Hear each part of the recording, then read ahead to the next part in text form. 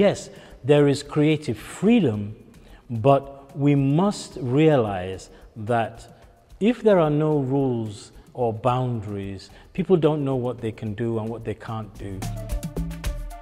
Some things will not win you a role. Don't get caught acting. When you're watching the movies, turn off the sound. When your voice does not do that, there's a problem. Because that's not the way we talk. They've checked you out. They've seen you're not being melodramatic. it's trouble. You need to be what? Believable. Say it loud, let me hear. Believable.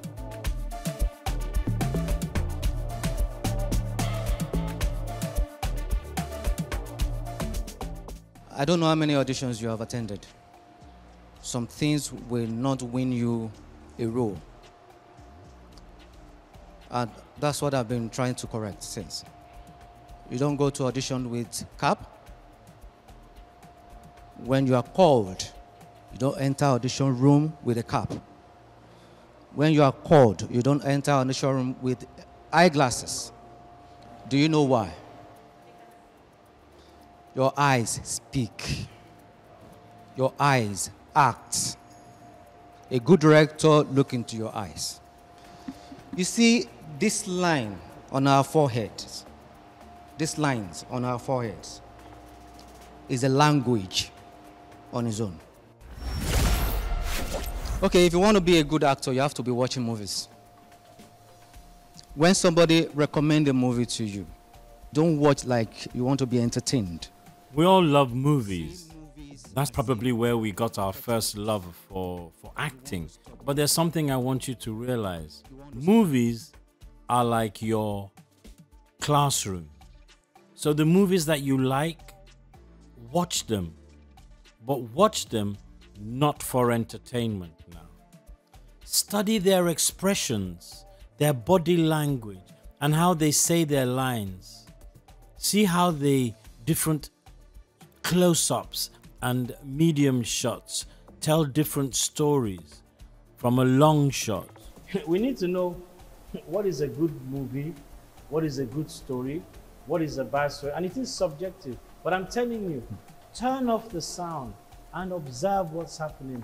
If after five or ten minutes you can understand the story, what the story is, that's good filmmaking. What I'm talking about by turning down the volume is that there are non-verbal aspects of acting. And there are also visual storytelling techniques that you as an actor have to understand.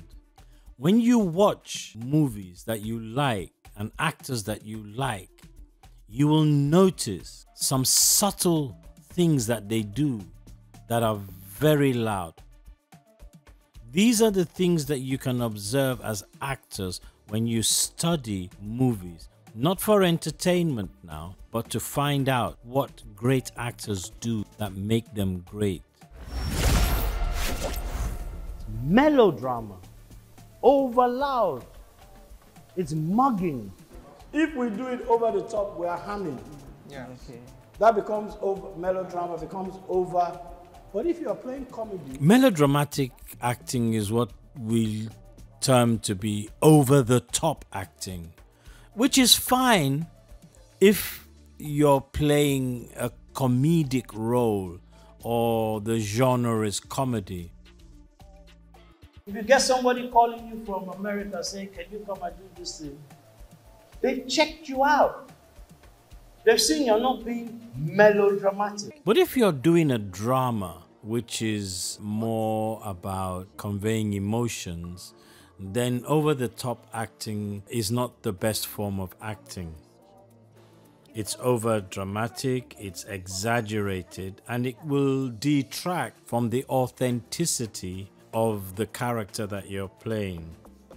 So please avoid the temptation to overact, or most importantly, don't get caught acting. The thing that you can't do as an actor, don't get caught acting. The minute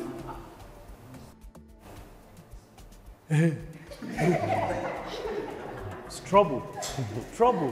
Do you understand? And there's some people, it's my passion, it's my passion. Then you now say, okay, act. They would you actually see them now change. Oh, I'm act, I'm acting now. Acting. oh, be careful. So you some you you do need to pause at some times. Yeah. Gather yourself. They've said action. It doesn't mean you must do it the next second. That action, gather yourself, go into your character.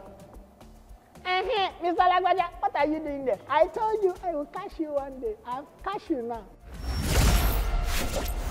Wait. Are you saying that you don't think I'm a nice person? Be careful about this. Avoid speaking in a monotone manner where every word is delivered with the same tone and emphasis. Instead, strive to convey the true essence of your character's words. Inject emotion, inflection, and energy into your lines to make them come alive.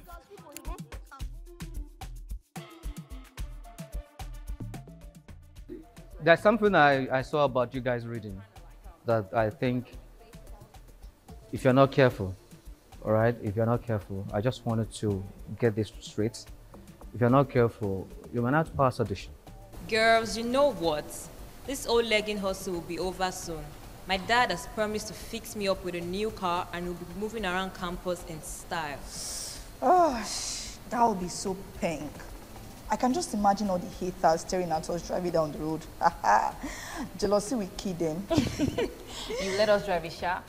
Okay, the first person is getting it wrong. All right? The first person is getting it wrong. Uh, she starts like this. Acting is like music. Uh, acting is like music. It modulates understand, it modulates. When your voice does not do that, there's a problem. Because that's not the way we talk. When we talk, we modulate. It doesn't, no sound goes like this, straight. It goes like this. You know, sound goes like this. So we, you need to do that. Whenever we're showing you something, yeah? And I said, this is the danger. Don't do it exactly the way he did it. Just get the intention because you know you, you have your own way of doing it. So when we say focus, yeah, you can't be distracted by the lights, by the this, by the that. Do you understand? If you allow the set and the fact that everybody is looking at you to affect you, as an actor, it is so vital for you to be highly focused. Ignore these people. Go into yourself. Focus. Look up. You have to have the ability to eliminate fear. This requires intense concentration and presence. So, for example, when you step into a scene, it's vital to immerse yourself fully in that character's world. Don't let fear or external distractions take you out of the moment. Okay, let's talk about what you do when the camera is rolling and you fluff your lines. Sorry. When you make a mistake or you get a little bit lost. The worst thing to do and the thing that you must not do is to say sorry and stop. When you make a mistake, don't say, oh, sorry, you've broken your character. You don't need to tell us you've made a mistake. Just stop in your mind and go back to where you were okay and then just continue. Pause and pick up as if nothing had happened. We all fluff. Just pause and continue. To the point that sometimes some people won't even know that you made a mistake. But the minute you say, I'm sorry, yeah, Everybody knows you've made a mistake. And your character goes because you become you. Stay in your character. Let me take this opportunity to say a very, very big thank you. Thank you for following us. Thank you for listening and thank you for being the audience.